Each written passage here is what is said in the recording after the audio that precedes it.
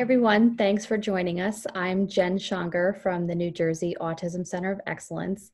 I'm very excited to be here with Lei Wiley Mydske and Morenike Giwa Onaiwu from the Autistic Women and Non-Binary Network. We're really excited to be working together to bring a webinar series called Liber Liberating Webinars. Um, and I am very excited about being here with both of you again today. Um, so today we wanted to discuss uh, an amazing presentation that Lei's son gave. Um, and it's respecting autistic ways of playing, interacting, and making friends. Um, so we're going to kind of go through some of the topics first, and then we're going to show you um, his video, which is just awesome. So mm-hmm. thanks for being here. Um, so the first topic, Lei, that uh, your son talks about is that um, you are not his voice. Um, so do you want to go into that more with us and and help us understand why that's such an important concept? Um, yes. So um, a lot of times I would um, see parents say that they are their child's voice, and I never wanted to be that. I wanted to amplify his voice and support him, but I never wanted to speak for him.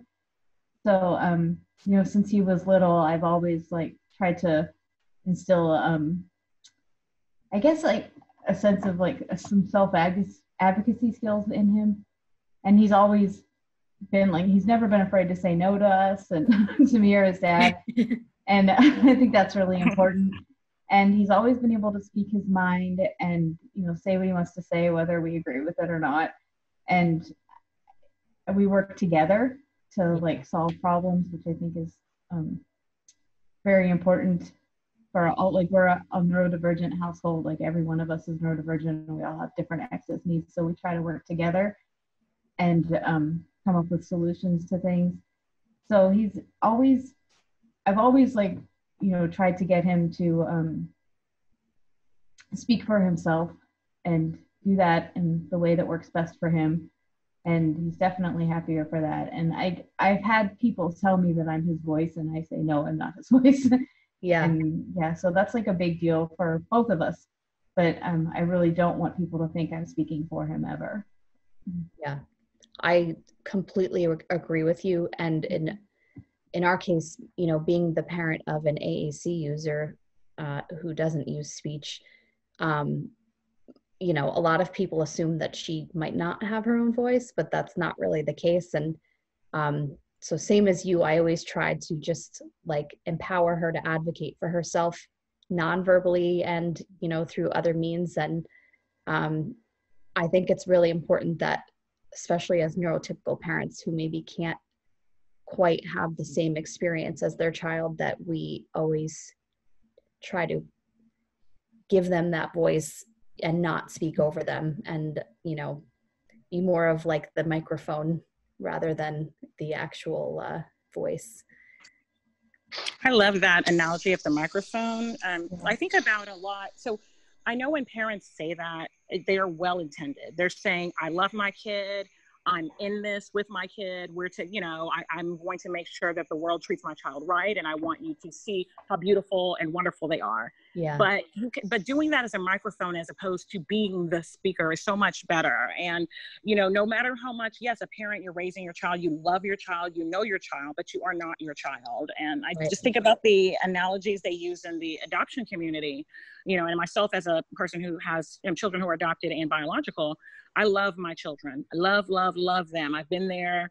Um, those are my babies. They don't have to have my DNA, but I don't have their experience. And, and so when it's important for me to use my privilege as someone who isn't adopted to share the perspectives of people who are, um, I can throw my two cents in when it's needed, but you know, again, the other 98 cents needs to come from the people who know what they're talking about.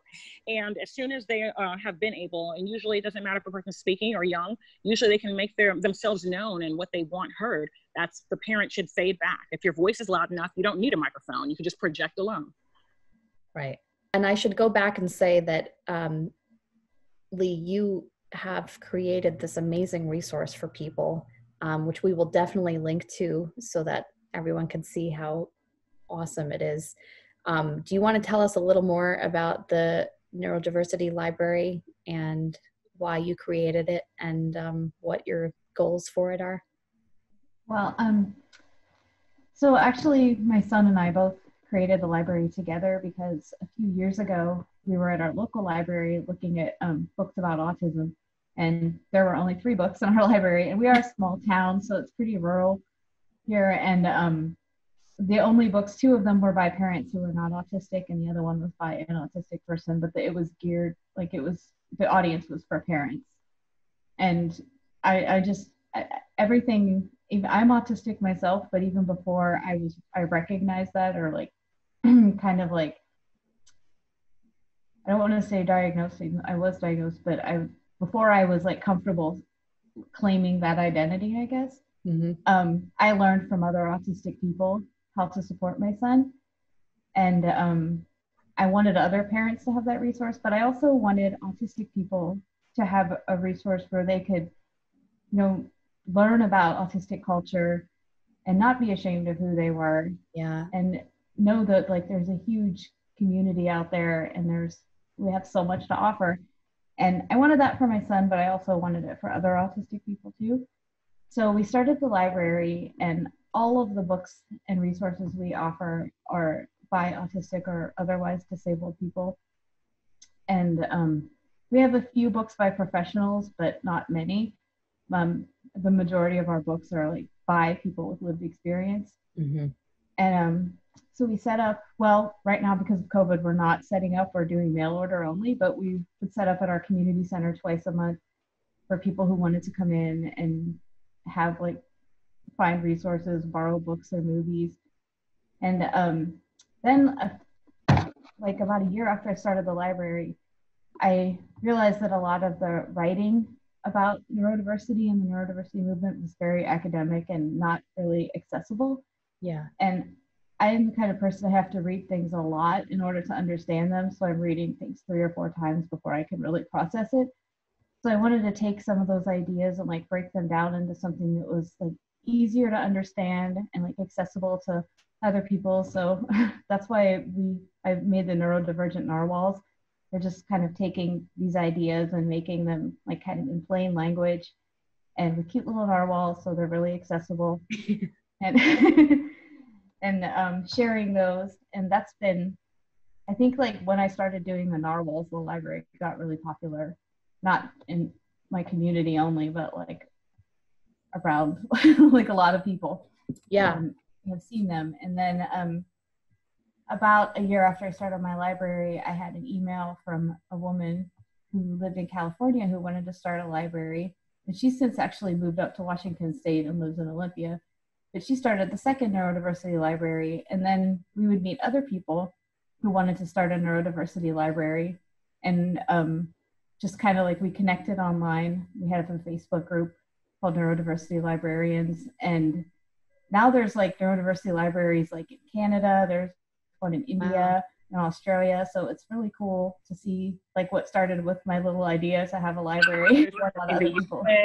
there are a lot of places yeah. lei has really yeah. influenced a lot of people um, with the um, the neurodiversity libraries um, lei is actually presented at a national adaptive um, you know, like accessible libraries conference to kind of share these um, resources and perspectives with other librarians and um, to try to really hope that they can, you know, can follow suit.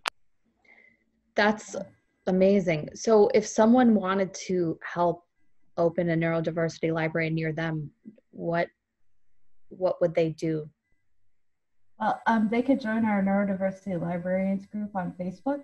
Um, and it's just a lot of us together and like sharing resources. And the best thing is when people ask like, how do you do it? Um, there's so many different ways to do it. Like I do the, well, I did do the in-person, which I hope to start again, you know, soon when it's safe. But um, some people just do like a little free library. Mm-hmm. Some people just do, um, they'll like collect money and donate books on their university to their local library. And there's just a lot of ways to do it which I think is really cool because people can do it the way that works for them and it's most accessible to them. So there's like not one way that you can do it. There's a lot of different ways. Okay, so we'll make sure that we also link to um, the Neurodiversity Library group in case people want to check that out. I have seen these narwhals all over social media. I love them. I've used them myself. Um, one of the one of the biggest lens shifts for me that the narwhals actually helped with was that there isn't a wrong way to play. Um, because you know especially like during the early intervention years all of the neurotypical like milestones that are your you know autistic children are being compared with and like you know play skills that are being prioritized are neurotypical play skills. And so when i started when i ran into your narwhals about autistic play it was so empowering. And it it's like it gave me the what i needed to be like you know what? Stop trying to make how she plays. Like just stop trying to interfere with her way of playing. Like you can't tell someone how they should play because play has to be based on the person's interests. Well, i know that when i was a child i i didn't like playing with other kids i liked being around them sometimes but um I, I don't i didn't i guess i had um ways of playing that weren't as considered weird by my parents um one of my things that I did is I would collect um, dolls and um, make these elaborate doll houses, and they were like color coordinated, and make my own doll furniture. So that was like seen as creative and not weird. yeah. But it was just like my sister would be playing dolls and have like um, you know, like acting out scenes, and I would just be like developing these like elaborate houses, like and um things like that. And then eventually, when people thought it was weird that I didn't like play dolls with my sister, I started um just basically recreating plot lines from soap operas that my mother watched, and they thought it was funny. So. for personally like my, i think my parents just thought you know like we're weird she's probably like gonna be like that too so like but with my but with my son um like in our family no one criticized the way he played but um doctors would criticize the way that he lined up toys. He liked to line up his little cars from one end of the house to the other and we always thought it was like kind of creative because they would be like all the red cars and then the blue cars and the green cars. So it was like a rainbow of cars. Yeah. I thought it was kind of cool. And then other things that he liked to do was um, he would tear apart newspapers and then put them back together the right way. and, it, and I thought that was really like we all were like super impressed, but our the doctor's like he just sits there and tears paper. And like that's like you need to have him evaluated. But he was having fun, so we didn't really think there was anything wrong with that. Yeah. But, and it wasn't until like he kind of got school age where there were all these concerns and it made me like a little worried just because there was so much concern mm-hmm. and it kind of made me doubt myself and you know my connection with Fallon was like it made me doubt that and it's kind of like crappy that that happened but yeah. but eventually like he's always done things in his way and like in his own time and i started to realize like if i just was like would calm down and just let him, you know, kind of lead me, that he would be fine. And like, yeah. and he did things the way he needed to do them, and there was nothing wrong with that. So, yeah. I remember um, when, like, you know, I would always read things about children lining up toys, and she never did that until very recently. And I'm kind of glad that she didn't start until recently because now I take pictures of them. I think it's amazing. You know, I would have, there probably would have been more stigma involved in those early years before I knew enough, you know, that would have like taken the joy out of seeing her create this, you know, cute little and she makes them in rainbow shapes, which I think is oh, so adorable.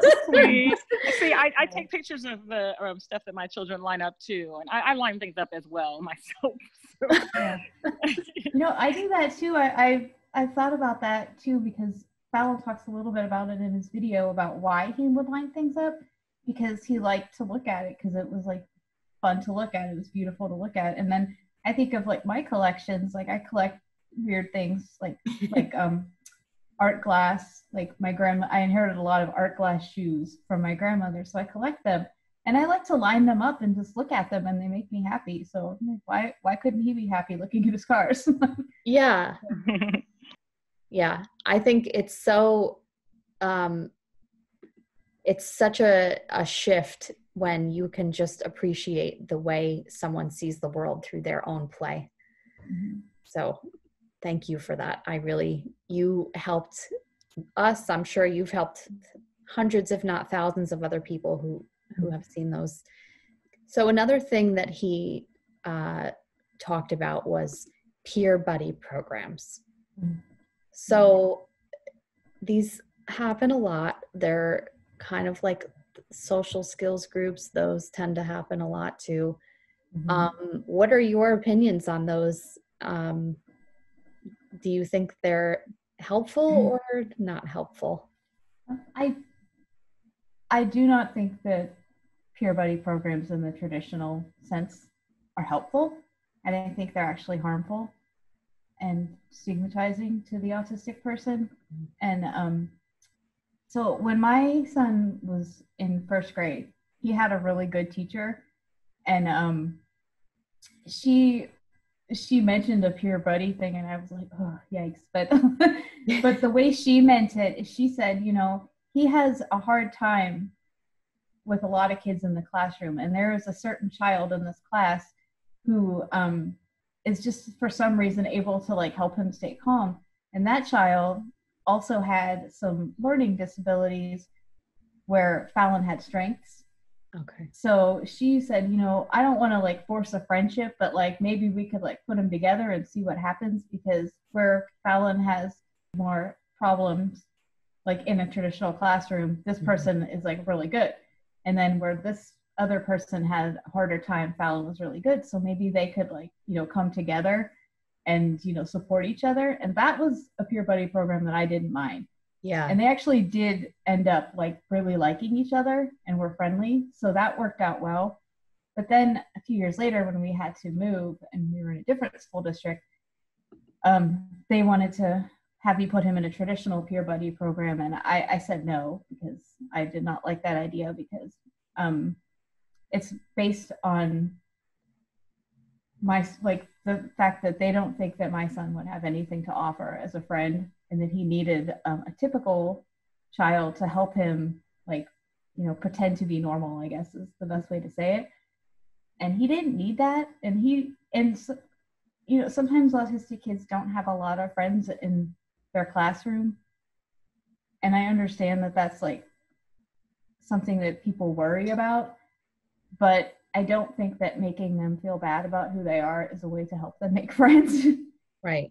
And um, that's all I can see from those programs is like you're taking this child and saying like nobody wants to be your friend, so we're just gonna assign somebody to like you know kind of be on your back all the time and like force you to act a certain way. And even yeah. Fallon described it as a parasite because that's what he felt like when peer I mean he had never been through that kind of peer buddy program, but he had friends who have. And I was like kind of describing it and then I showed him, you know, the wording of like different programs just to see you know what he thought for when he did his presentation because I said, you know, this is something we should probably talk about because people think it's a good idea and I mm. want to know what you think about it and he just did not like it at all. He said, "I," so he did not like wow. that. He's so smart. Look, and I'm he's, at the definition of parasite. Never, yeah, he's never had a problem making friends in his own way, and right. I and I even remember when he was really small, we would go to the park and um, I would try to get him to, to go, you know, so he could see other people besides me every day and he had a buddy that he met there and it was a woman who was like in her 60s and she was always at the park doing yoga and that was his friend and they had fun like, That's and nice. so he had he had perfect like social skills you know to yeah. make a friend just like not it didn't look like what other people wanted it to look like but yeah. you know that was his friend and he's always been that way where he can make the friends that he needs in his own way so, yeah. yeah so i don't i just i would I just don't like those peer buddy programs. And I'm also, I actually had a peer buddy when I was a kid, and they didn't call it that. And it was incredibly traumatizing when I found out that they were not my real friends. Because Oh, for a year, I was assigned to a couple of girls in my class, and um, what I didn't know at the time. It was years later. I was in high school when I found out, and this happened when I was in fifth grade. And that whole year, they were my friends, and then the next year, they weren't my friends anymore, and I didn't understand why. oh my gosh. and finally, in high school, um, one of them told me, you know, like our teacher wanted us to sit with you because you're weird and you don't talk, and yeah, and then so Oh, it was that's very awful. traumatizing when That I found out. I said, yeah, and I the thing is, I did have one friend who liked me the way I was, so I I don't know if my parents signed off on that. I never really asked them, Mhm. but um, I do know that teachers were concerned about me because I was very quiet. I didn't talk in school, so. but yeah, so I I I would say from my experience, I would never put a child in that kind of program. Yeah, it's like if you want the child, if you're concerned about the fact that the child has no friends, if you want it, or a few friends, if you want to guarantee they're not going to have friends, assign them a, bu- a buddy. Yeah. Yeah, I think too that like what gets forgotten in a lot of this is that a I mean clearly you all have feelings. Um no one wants to be the- a person that people are assigned to as if it's like a job. And um you know also when people make friends with each other they generally do it because there's they have shared interests or you know Mhm. um similar traits or things that they feel connection over and so you can't really force something like that anyway um but uh, you know and and research uh there's a few researchers who delve into topics sort of related to this um i mentioned him in another webinar we will be showing as well but um Dr. Damian Milton is an autistic researcher who discusses the double empathy problem. And so, you know, um, just as it may be difficult for some autistic people to um, kind of like see things from a neurotypical lens, it's equally as difficult for neurotypical people to see things through an autistic lens. And, you know, we may have different ways of socializing and i think one of the key things in all of you know the neurodiversity library and in fallon's presentation which everyone will see is that you know just because the communication style is different it doesn't make it wrong. And giving people especially young kids that message is completely unacceptable. And i really am like going to demand of neurotypical people here to like get with the program and realize that you know having this sort of bias hurts people and it's not helping um, and it's you know if we want better for our kids and for the autistic community we have to understand that like we play an important role in um, you know being good friends back. Um, uh, Vikram Jaswal also has research about um, basically looking at being versus appearing socially interested. And autistic, many autistic people show, you know, social interests differently. Uh, just as you were saying, Lei, like it's not that he didn't want friends or connection. I mean, my daughter is the same, where, you know, she's not overly social, especially with people she doesn't know well. She needs to feel trust. She needs to feel safe with them and she wants connection and wants to be around us and wants to be around other people but she's not going to be like doing it in the same way that my neurotypical daughter would do. But the need is still there.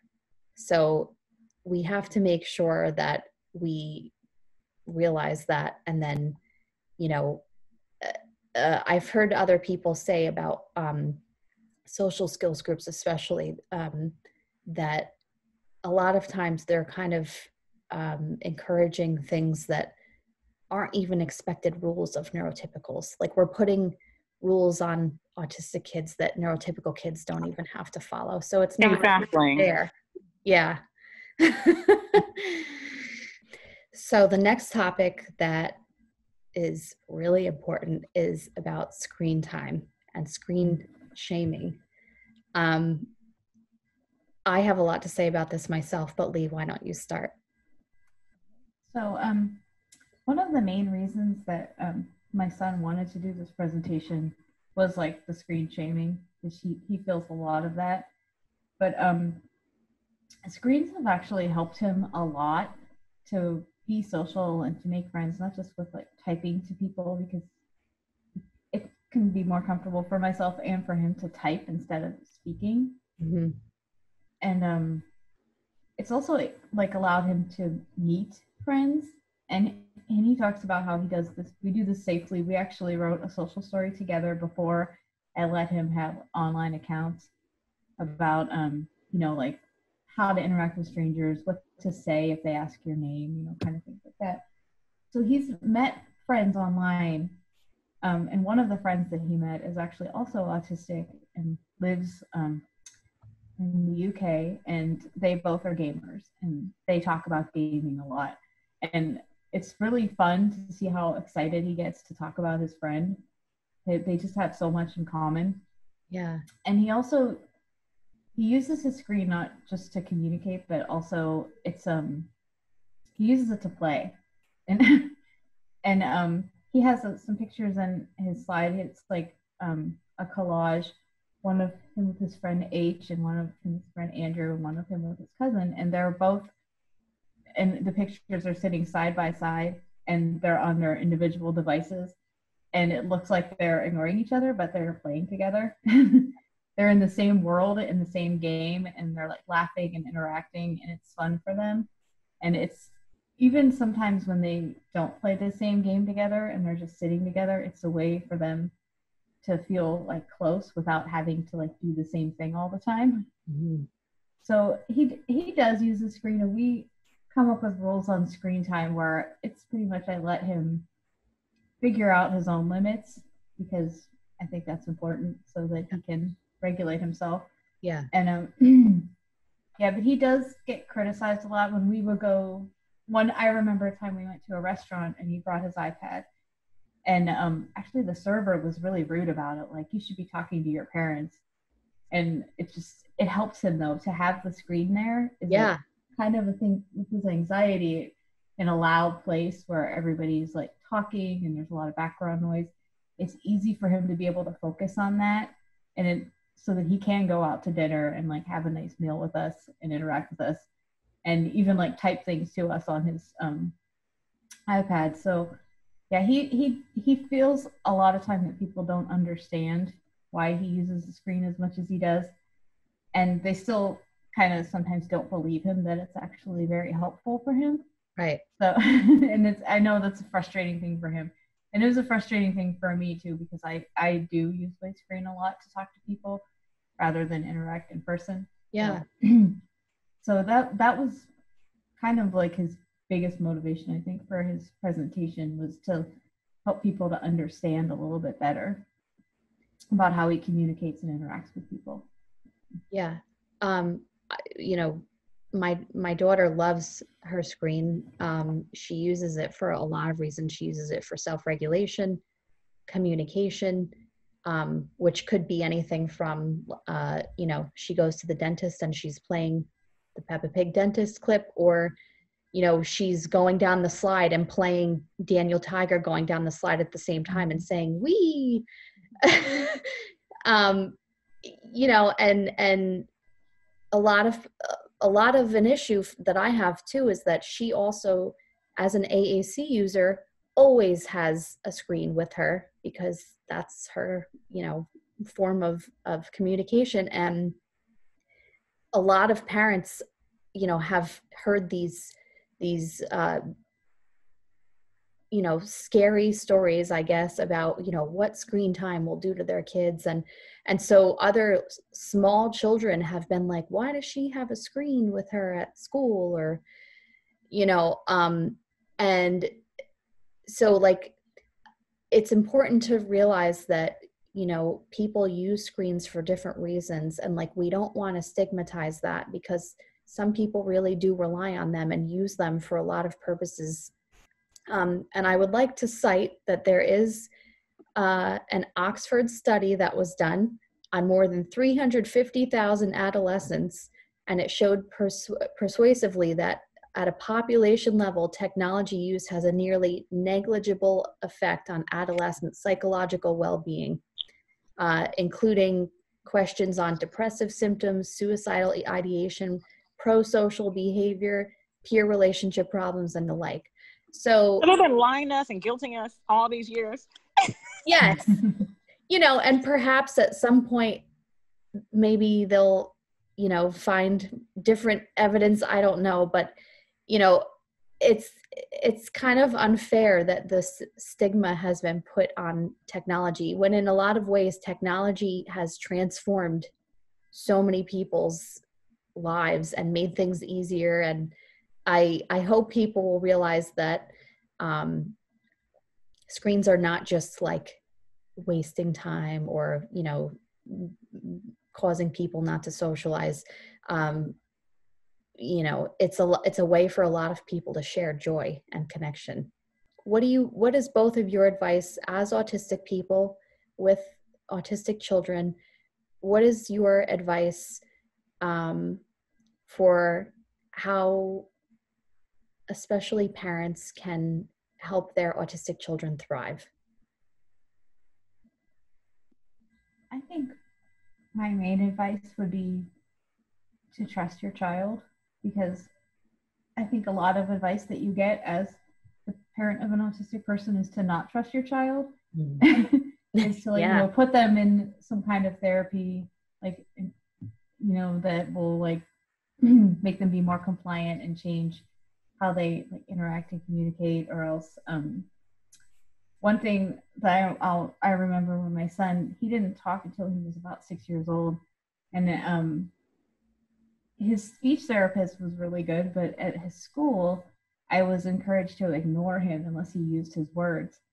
And to me, I, if I knew what he wanted, I, I never did take that advice, by the way. but, yeah. but um, if I knew what he wanted, he didn't need to use words because he was communicating what he wanted just fine. He used yeah. signs or pointing, and there were a lot of ways for him to communicate. But I feel like a lot of times parents of autistic kids are really encouraged not to trust your kids and not to like build a relationship with them. So I would say ignore all that advice and trust your kids more because I think that relationship is going to be way more important than anything else. So, mm-hmm. yeah. I think that's really key. Trust your child, and I would say within reason, trust yourself. I say within reason because some of us parents got some issues. Yeah. But, but the reason why I'm saying it is because a parent a parent can have different neurology than their child. But that doesn't mean that you as a parent don't look, you know, for the most part, love your child, want them to be comfortable, want the best for them. And because you don't trust yourself and you trust that this professional says I need to ignore my child and do this. This yeah. professional says my child needs to learn how to do things this way um, and I feel bad. My child's crying or sad, but I need to do what they say. No, you uh, uh typically it's not for everyone. Most people, I think, your your parental instinct will be: my child is lining these things up. My child is happy. I know what my child wants. They're pointing. They're not saying it, but they're communicating with me. I know right. my child loves me. They're, you know, but in their own way, they're putting their foot on my my knee or whatever it is that they do. They don't have to say the words "I love you." Don't let the world tell you that because your child doesn't present in the way that they think a child should present that your child is anything less than the beautiful, wonderful child that you have right there in your arms. Don't let them um, poison your perspective of your own child. Yeah. And this is why I love all of you because it's, you know, all it, it like in that early space, especially, I like, I remember thinking, like, do I know how to parent her now? and you know you have a team of professionals like suggesting things and you feel like you don't know anything so you know as, as a neurotypical parent especially i had zero experience and but what helped give me the courage was hearing autistic people talk about these things so this is like so again i know i say this to both of you a lot but thank you so much thank you to everyone in the autistic community as a parent as a neurotypical parent, you have changed my kid's life and many others. So I'm really appreciative. Thank you. Well, it's encouraging to that there mm-hmm. are people listening and learning. It's encouraging that the research is starting to back up what we've been saying all along. And you know, and it's just encouraging that you know, like Fallon is young, but what Fallon is saying is what I would say. You know, I mean, obviously we're different, but what Lei would say, Fallon is. You know, I, I just really feel like everyone is in for a treat because this is just such mm-hmm. deep and such real information about how to respect the ways that we are and how to to thrive in the life that you have with the neurology that you have. Yeah, absolutely. So, everyone, stay tuned for the amazing Fallon, and we're really excited to show him.